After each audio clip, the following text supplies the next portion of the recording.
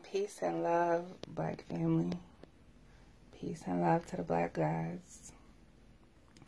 Hope all is well with all of you out there. Um, oh my goodness, I missed y'all so, so, so much.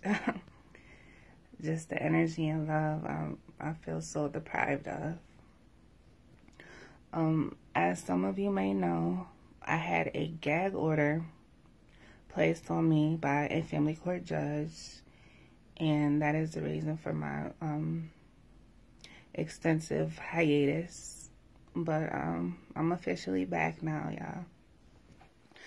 Um, the gag order was placed not only on me, but this is how ridiculous it is. It was placed on my family as well. The family court judge told me that if myself or anyone from my family posted on social media about my case, that I would lose permanent custody of my children, who at that time I had already lost temporary custody of. So, um, technically, that order has not been rescinded. So, technically, by me making this video and posting it, me and my children are still at risk. Um, for those of you who don't know, I kind of just said it. I did get my children back.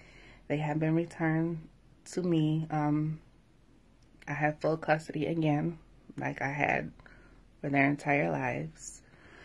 So that's a blessing. Thank you all so, so, so much for your love and for your support and for the donations that I received. Um, it helped out tremendously. I was able to pay um, my lawyers. Well, in the beginning, I had like two or three different lawyers, um, which I did waste a lot of money on, but it was all learning experience. I do have an excellent attorney now. Um, we'll plug for him real quick.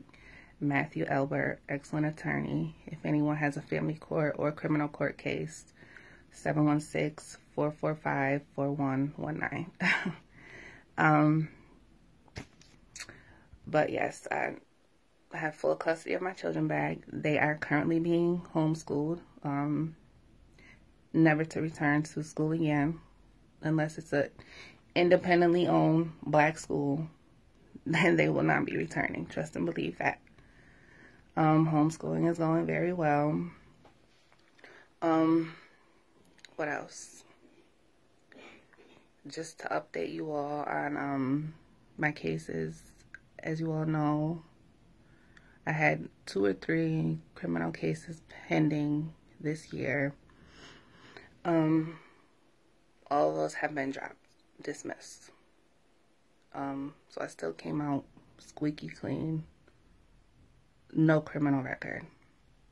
As y'all know, before this year, 2017, before all this homeschooling fiasco, I had never been arrested in my entire life. Um, no criminal background.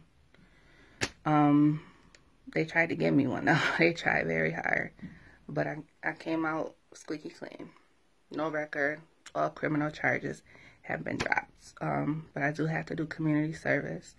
And I have to pay some court fines about um, 250 $300, something like that. Um, what else? Um,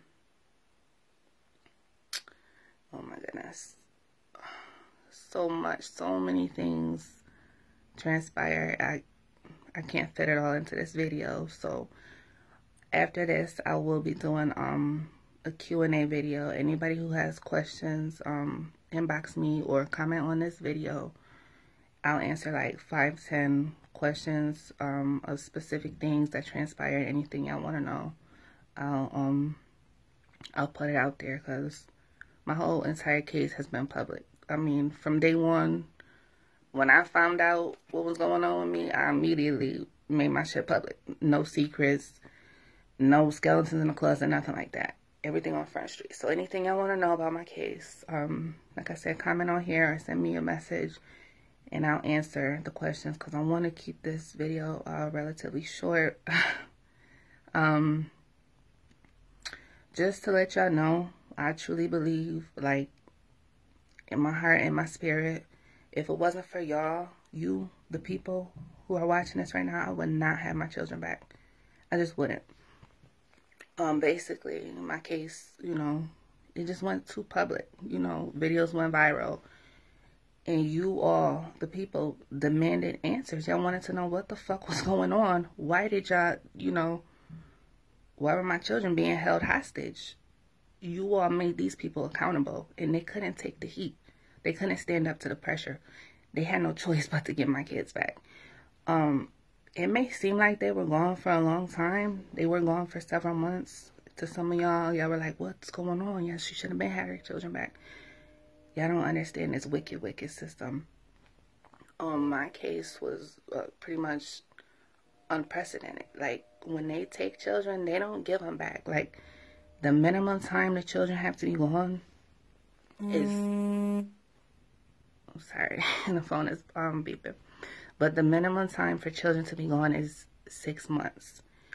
And the way their system works, this is just protocol. This is what happens with every single case. If they remove children from a home, they're gone for a minimum of six months. And during that six months, um, the parent has to do a series of, of, of hoops they have to jump through. They have to go to mental health evaluation. They have to go to counseling. They have to go to domestic violence classes. They have to go to uh, drug and rehab classes. And this was all shit they were trying to make me do. Um, and mind you, these classes have to be done consecutively, and most of them take, you know, three, four months to do, and you have to do them all in a row. So most of the time, people don't even get their kids back in that six months because they're not, um, within that time frame, they haven't had a chance to complete all these classes and, and, and, and programs that they were required to complete in order to get their children back.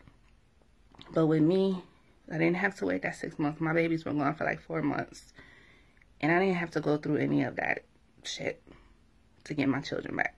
So, and that's the thing that they were the most angry about. Y'all have to understand what really went down inside this agency, this government agency heads went rolling in that bitch. Y'all have to understand that, like, people who work for that agency were so, so, so angry that my children came home. There was people who actually quit their job, who worked for this, this county agency, this child protective services. They actually quit their job because my children came home. That's how angry they were because, um, basically we had to go above their heads. These these workers, these social workers, and these um county attorneys, we had to go over their head. And um see when these people are out on the field, they have this overinflated sense of um sense of authority. You know, they think they're God. They forget that they're just workers. They're just subordinates. so when their boss came in and um, quote unquote stepped on their toes and said, "Y'all got to give these Harris kids back. Hands hands off these Harris kids." They were infuriated. People quit their job. There was people that got fired from their job. So much shit went down with my case. Um, there was workers, like I said, who quit. They got orders of protection against me. Okay, y'all came in, invaded my home, kidnapped my children, threw me in jail, but then y'all want to order a protection against me. What did I do? Like, that's how afraid they were because I just had so much public support. I had so many people out there ready to ride for me. Um, they were afraid. They didn't know what to do. Um, like I said, they didn't want to give my kids back. It basically implicated them and basically said that they were wrong because you out all my criminal charges dropped. And then on top of that, y'all returning my children to me in the, the six month time frame didn't pass. And I didn't do any of these, you know, required classes. So that's basically saying that I wasn't the problem in the first place. If I was the problem in the first place, if I neglected my children in the first place, you know, I would have had to go through all these classes and training and programs in order to get my babies back. So basically, implicated that, you know, implicated them that they did wrong in the beginning by taking my children, that they made a mistake and fucked up. So that's why they were so angry. And also, like I said, for them, this was personal. This was very, very personal. They wanted to adopt my children out. They wanted me to never see my children again. That was their plan. They had already submitted paperwork for me to lose permanent custody and for my parental rights to be terminated and um, for my children to be adopted out into the system. That's what they wanted. So when that didn't happen, um, it just got very real. Like heads went rolling in that bitch. Heads went rolling in that agency. But like I said, it was because of you all. Y'all demanded answers. Y'all wanted to know what was going on and why my children had been kidnapped. Um, what else? Basically, this whole year, yeah, 2017, my occupation has been going to court. Basically, I've been to court this year at least at least 60 times. And um at least, yeah, because I had the criminal cases. Oh, that's what I wanted to tell y'all. My family court case is still open, y'all. A lot of y'all think that, you know, everything's over and done with because I got my children back. No. they don't want to take their claws out of me and my babies. Um, I can't make this shit up, y'all. This shit is just so crazy. The case is still open. I still have child protective services coming to my house um, to check on me and my children. And check this out, y'all. I have to go to trial. Yep.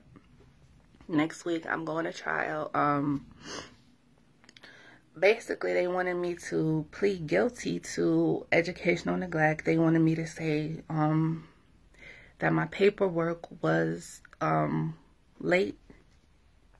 So they wanted me to plead guilty to that. um, excuse me, y'all y'all already know how. y'all already know my answer to that. Like, y'all don't put me through all this shit, and now y'all want me to plead guilty so that, you know, y'all could just sweep my shit under the rug. Like, look, see, she was guilty, y'all. We had reason to do everything we did to her and her babies. Wrong. We're going to trial because what y'all have to understand is that everything that they did to me and my children they did it all based off of allegations. I was never convicted of anything. There was never anything proven in the court of law. There was no due process. There was no there was no um there was no proof. There was no evidence. There was no any of that. It was 100% pure allegations.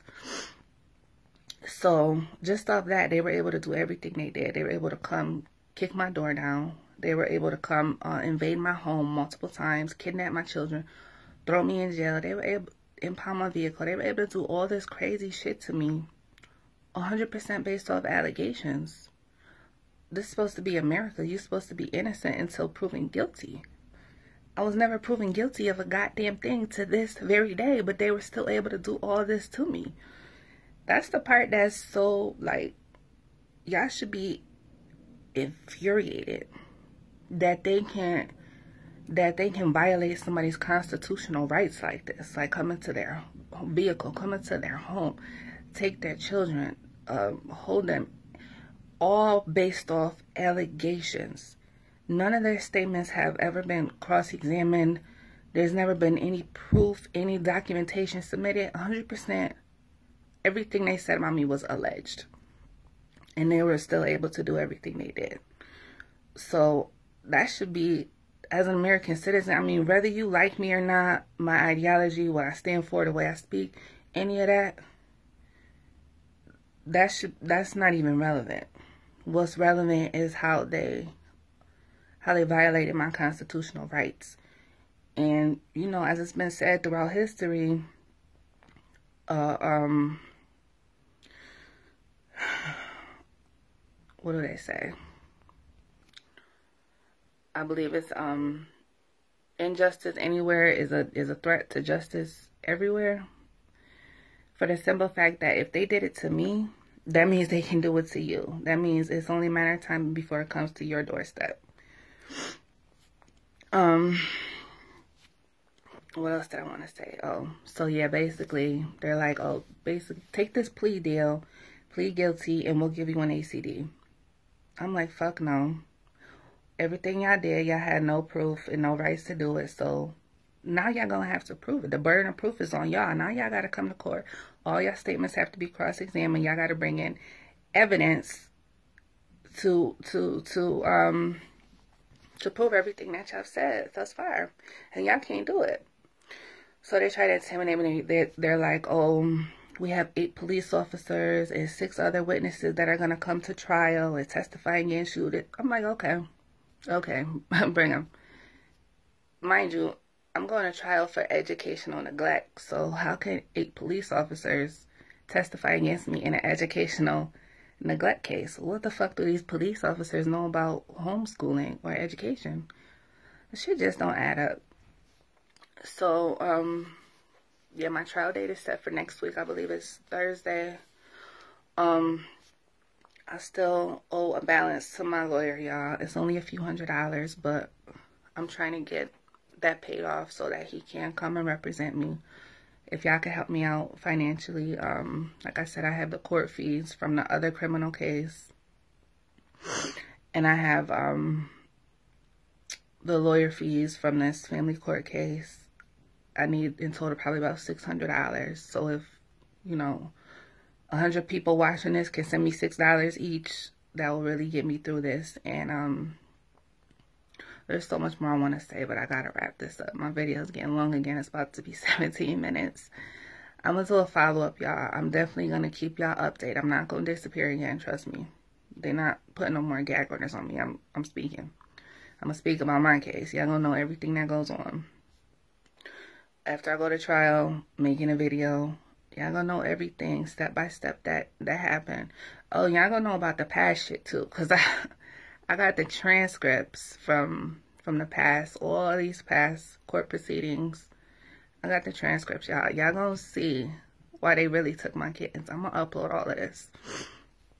Um, if there's anybody out there, I'm not that uh, savvy with technology, but if there's anybody out there who could help me make these videos, because I want to put the transcripts and the court papers up, like maybe do a double screen, have my face here and the court papers here, something like that, so y'all can see line for line what they said and what was talked about and how they perjured themselves in court and just lied, blatant lies, and they tell on themselves like, right, this shit is crazy. I can't make this shit up, y'all, but I got so much more to tell y'all.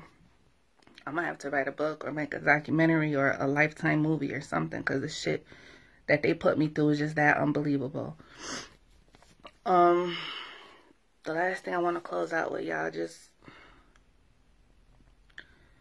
just remember, please don't forget what they did to my children. They put my children in in an institution. They were not even in a foster home. My babies were in an institution for juvenile delinquents when they took my children, the first thing they're supposed to do when they take children is put them with the other parent, like the father. They didn't even call the father and try to put them with him. They refused to place my children with my mom or any of my family. they took my children and put them in an institution where they were with juvenile delinquents. My daughter was eight years old. They had her living in the same dormitory as 15, 16, 17 year old boys who had um who had like ran away from home and stole cars and, and like started fires, arson, all type of crazy shit. Y'all got my children who have no record of behavioral problems. Y'all have them in with these juvenile delinquents. And you know, nothing against the juvenile delinquents, but I just want y'all to know how malicious this attack was on me and my children. How how and they let my children stay there. Court proceeding after court proceeding after court proceeding. And mind you, y'all, this judge who did remand my children into the custody of the county or of the state, I'm sorry, is the same judge that I'm going on trial in front of. Mind you, y'all, I'm not having a jury trial. I'm not being judged by a jury of my peers. You know what I'm saying? Like, this facade that they have us under, how, you know, we have so many rights in America and freedoms and, and constitution. No. I'm not being judged by a jury of my peers. I'm being judged by one lady. She's not my peer. She's uh, at least twice my age. She has to be in her 60s. She's not of the same race as me. And like I said, she's the same judge that I've had from day one. She's the one who who took my children are in my custody, and she's the one who um, remanded them into this institution for juvenile delinquents. She didn't even place them in a foster home with a family. And she's the one who refused to let them go with my family and who who kept them in this institution court proceeding after court proceeding after court proceeding she allowed this to go on and this is the lady who I'm going on trial in front of, and this is lady who's going to decide my fate and is going to decide whether I'm guilty or not guilty. Welcome to America, y'all. So this is what I'm facing. This is what I'm up against, y'all. Um, again, just thank you so, so much. Like, words cannot even explain how grateful I am to you all, to the public, um, to those who know me and to those who don't even know me. Um, it was just tremendous, y'all. I can't I can't put into words. Just I'm grateful and I'm humble and I love y'all. Um, I didn't want this video to be this long, but um, I still got so much more to say, and I will be posting more videos updating y'all on my trial and how that's going. And I will, like I said, do some Q and A.